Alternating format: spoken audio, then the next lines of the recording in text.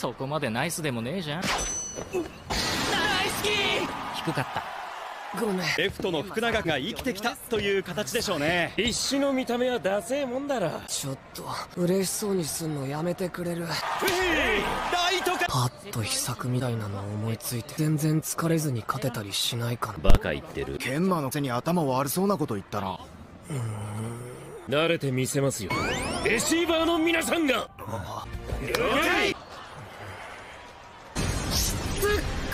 重力なんでこの世にあんの？重力ムカつく。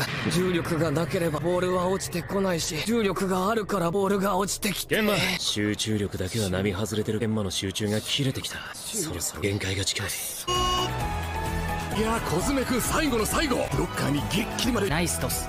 サロンパスケンバさん。あのさっきこけたのってまさか演技っすか？そんな器用な子できるわけないじゃん。ですよね。頑張ることに明確な名前つけないとダメな俺が頑張ったら変何切れてんだよ。糖分が不足してるんだな。バナナ食べなさいよ。仲間のために頑張るはおかしいこと。俺がやったらおかしいの何？来い。来ないで。トゥナが悪乗りしないで。俺でケンマがゲームやってる時の半分くらいでいいからバレーにアグレッシブになってくれたらな。勝手な当てる子をやめてください